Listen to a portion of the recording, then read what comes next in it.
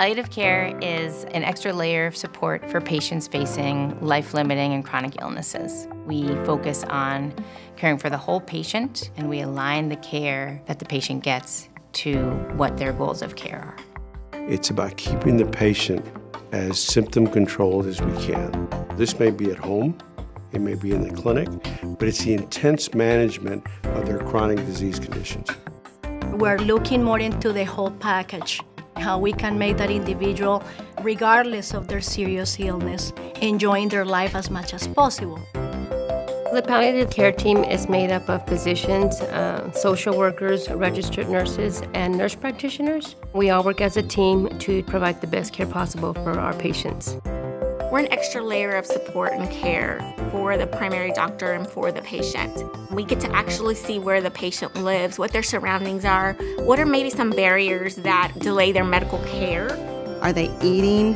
Do they have any social support? All of these things that really matter in their care. The doctor will come to your home, the nurses will come to your home, they will order all your medications, do any testing, they will draw your blood at home, they will do an x ray at home. We are a high tech medical team in a patient's home. We are completely on the same page with collaborating over the care of the patient. Having to go to the clinic that I was going to, there's always a hundred people there it's hard. When they come to you, that puts you in another level. You know, it makes you feel like number one.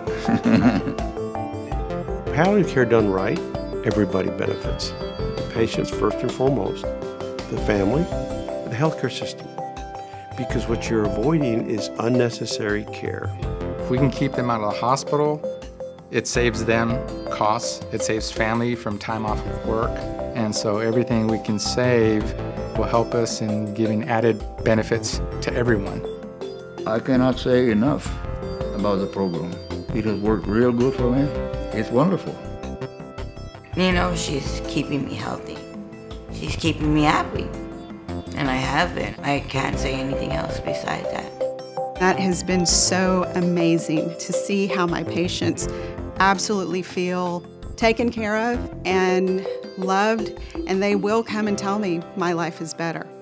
I can't imagine anything more important than having trust in who's giving you your care. And the great thing is, you're not a number, you're a real person.